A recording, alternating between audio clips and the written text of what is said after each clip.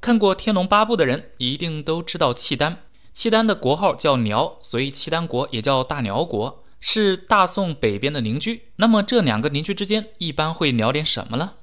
澶渊之盟签订后，宋辽成为兄弟之国，两国之间互动达到三百多次，这之间就发生了很多有意思的故事。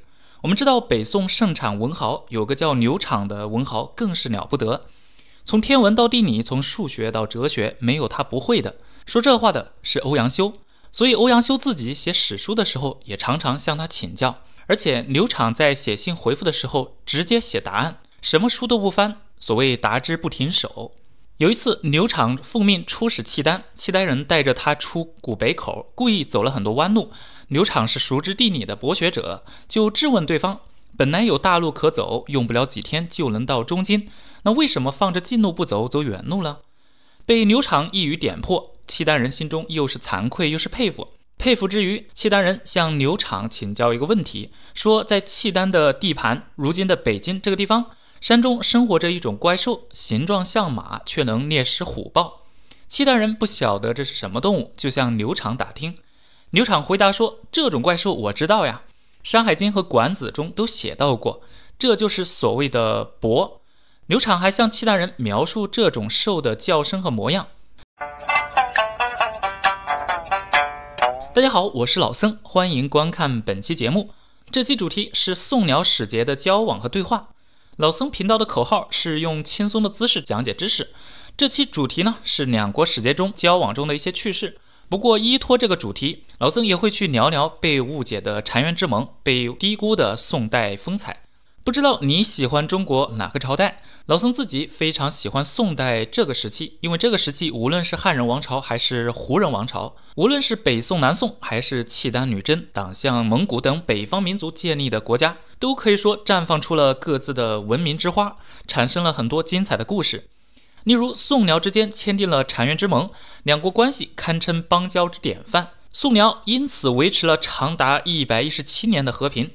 为什么说宋辽成了国与国交往的典范呢？我们不妨来看看宋辽是怎么交往的。首先，两国订立了一套派遣使臣的规矩，大家一同遵守，一同维护。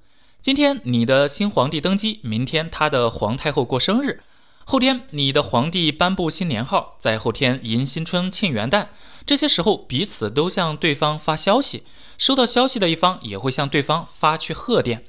影片开头提到了刘昶去契丹，他就是受朝廷的委派去祝贺契丹国母的生日，而这些使节也都有专门的称呼，去拜年的叫做正旦使，去祝寿的叫做生辰使，去发讣文的叫做告哀使，去参加追悼的叫做吊位使，而且办丧事的一方还会把逝世皇帝或者皇太后的遗物馈赠给一部分给对方作为怀念。那这些都叫做常识，而对于偶然发生的事件，例如边境起了纠纷等等，则有其他专门使节来处理。就这样协商各种问题，互致年节的问候、喜贺吊丧，往来频繁，长期以兄弟之国相称，这在中国古代史中是极为罕见的，可以说仅此一例。因为从周代开始，中原王朝以教化四方为己任，并没有平等交往这个说法。《左传》中就把周边的少数民族称为夷狄，甚至还说他们是禽兽，是没有开化的豺狼民族。所以，中原王朝建立的外交关系是以自己为中心的朝贡体系，是四方主人的这种心态。而在北宋跟大辽缔结的这种和平体系之中，宋的经济文化达到了此前未有的高峰，而大辽也进入了它的辉煌时代。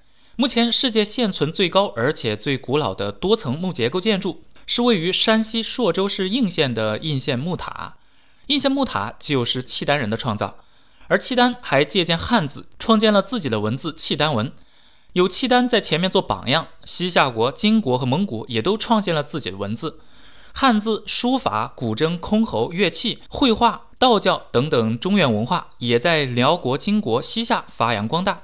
例如，中国现存最早的年画《四美图》就是在西夏国遗址发现的。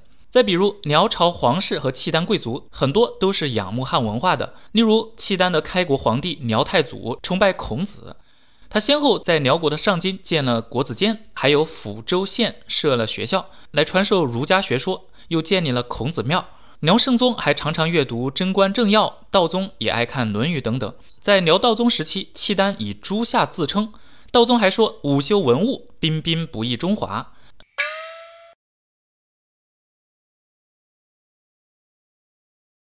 朱桥纽印潭，忽见似江南。这是牛场行进到承德县六沟镇的时候所写的朱桥。身处契丹北国，感觉却像回到熟悉的江南。还有比这更让人亲切的吗？今天的人容易以为宋辽之间就是战争跟屈辱，其实从公元一零零四年澶渊之盟到刘长使辽的这五十年间，双方已经和平相处了五十多年呀。罢兵戈，通商贾，两国之间和平往来。契丹的上层也比较开明，前面已经介绍过了，他们也吸取汉家文化，经常有一些汉化的举动，跟宋属于友好往来，堪称友邦呀。出使辽国的宋人，除了偶尔有些心怀感慨，但一般情况下还是怀着平常心去看契丹的山水人物，所以在他们的诗中，屈辱悲愤少，心奇平和多。要知道，大宋的使臣往返一次，一般需要两个多月。这期间，宋朝的士大夫有着充足的时间来观察、消化、吸收。以今天的眼光来看，虽然宋朝的士大夫出使辽朝是带着政治任务的，他们身上负着考察对方、获得情报的这些任务，但这个过程其实更像是到契丹去旅游、去看望朋友、交流知识。可以说，两国之间的信使，同时也是文化的传播者。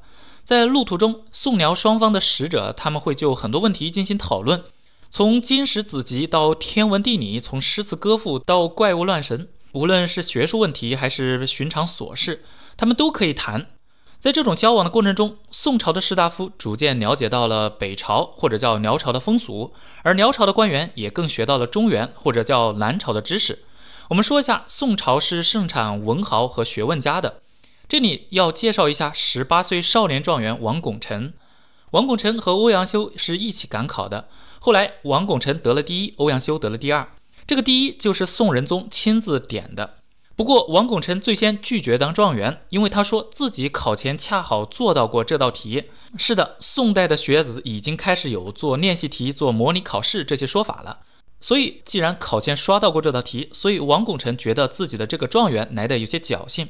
宋仁宗已经很欣赏王拱辰的文采了，现在他又这么诚实，所以更加坚持要定他为状元，并且赐名他王拱辰。不仅宋仁宗爱人才，契丹的皇帝也爱呀。嘉佑元年，王拱辰拜三司使，出使契丹。大辽的皇帝知道王拱辰是少年状元。所以特意设宴垂钓，每次钓到了鱼，就会亲自向王拱辰敬酒，而且在王拱辰喝酒的时候，亲自弹琵琶、奏胡乐。当然，这在礼数上是属于失去了上下尊卑的。